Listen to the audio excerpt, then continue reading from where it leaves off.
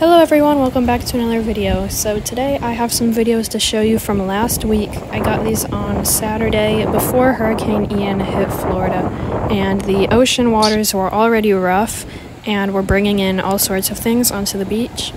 And one of those things was this like 20 foot long bamboo log covered in goose barnacles and I believe these are Lepas anserifera.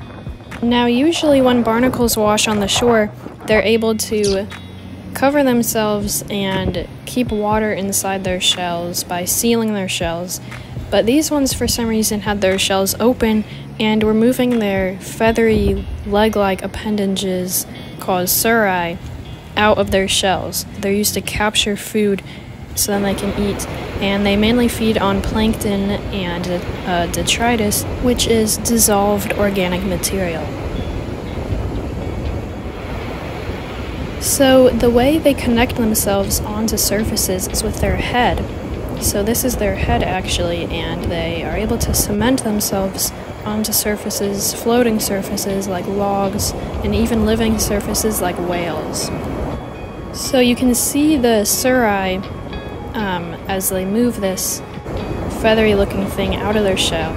So I was concerned about these barnacles because anytime I've seen them on the beach like this, they end up drying out and dying. So I decided to bring them out into the water, and the waves brought them into these rocks. And I'm hoping that they'll be able to stay in the water by uh, being behind those rocks, and then eventually they'll be taken back out into the ocean. Goose barnacles can live for more than 20 years, and they can start breeding at 5 years old, so I'm hoping that these guys will be able to live. So here's two other things I found washed ashore. This one here is a sea heart, and this is a sea hamburger. And these are sea beans, also known as drift seeds and they come from fruit trees that have a method of seed dispersal where the seed will travel thousands of miles in the ocean until it finds a beach to grow on.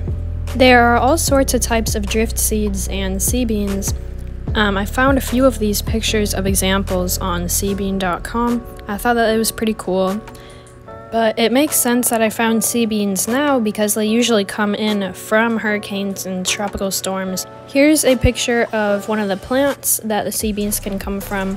This is where the, the hamburger sea beans come from. Um, it's pretty interesting. But anyways, that's all I have to show you today. I hope you enjoyed this video, and I hope that if you were affected by the hurricane, you're doing okay and no one was hurt.